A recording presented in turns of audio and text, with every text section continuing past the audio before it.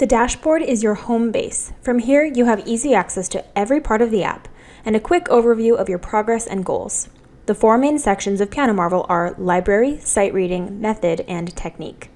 The library includes over 25,000 songs and exercises, and your most recent plays are displayed on the dashboard so you can easily access them with one click. The sight reading section is home to the SASR, or Standard Assessment of Sight Reading. Here you can see your most recent SASR score as well as your highest. The method trophy case is also one click away, and your percentage of completion is displayed here. The technique trophy case tab works the same. Now let's look at our practice goals on these top three buttons. In the middle, you can set a practice goal to reach a certain number of minutes for the month. On the left, your current minute count is displayed so you can see how far you still have to go. On the right, you have your practice streak, which counts the number of days you've practiced in a row. When you log in, the streak flame will be grayed out and will turn blue once you've practiced at least one minute that day to preserve your streak. Finally, let's look at the blue navigation bar at the top. On the left, we have the menu.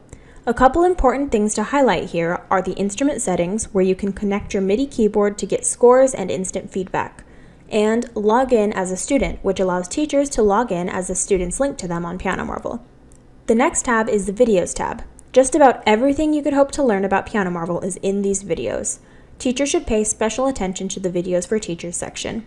Next, you have the Instruments tab, which will include other instruments in the future. You can also navigate through the program by using the tabs on the blue bar, which remain on every portion of the app. Next, we have the Reports tab, where you can see which exercises and pieces you've played in the last seven days, what your highest score was on each, and how long you practiced each day.